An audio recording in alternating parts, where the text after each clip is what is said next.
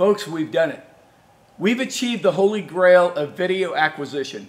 32K video is now a reality.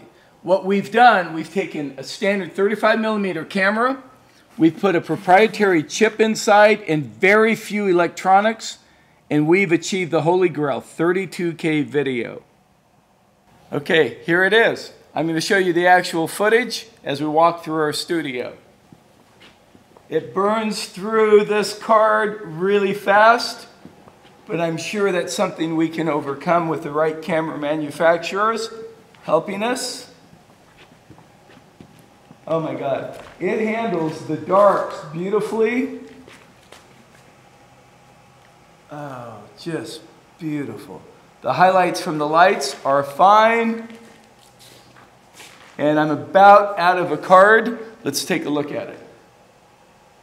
Okay, so now that we have 32K video available, we're going to take it to NAB to the manufacturers, and we hope to have 32K video in your hands before the end of the year.